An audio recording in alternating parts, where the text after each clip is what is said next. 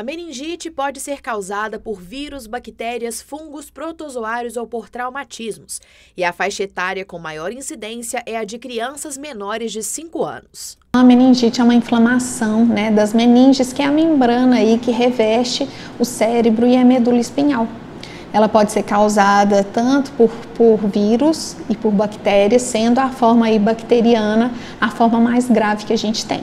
Trata-se de uma doença contagiosa que se transmite de pessoa para pessoa por meio de gotículas e secreções respiratórias.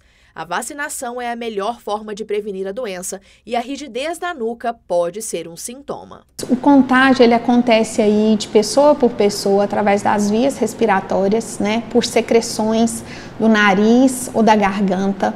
E também ele acontece através de alimentos contaminados com fezes, a principal forma de prevenção da doença que a gente tem hoje é através da vacinação.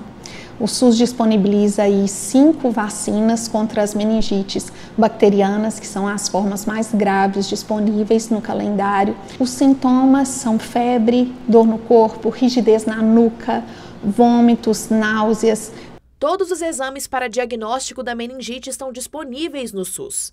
A Secretaria de Estado de Minas Gerais, por meio da Superintendência Regional de Saúde de Patos de Minas, informa que, de acordo com dados extraídos do Sistema de Informação de Agravos de Notificação, dos 21 municípios sob jurisdição da Secretaria Regional de Saúde de Patos de Minas, em 2023 houve sete casos confirmados por meningite e em 2024, cinco casos até a data de 21 de 11 de 2024, o que não caracteriza um surto da doença. O tratamento, em geral, é feito em âmbito hospitalar, né, porque são casos mais graves.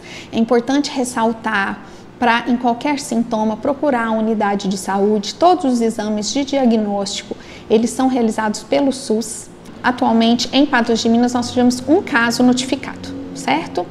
É, no ano passado, nós tivemos dois casos. Em toda a região, nós tivemos um acumulado 2023, 2024 de 12 casos, sendo que tivemos 7 em 2023 e 5 em 2024.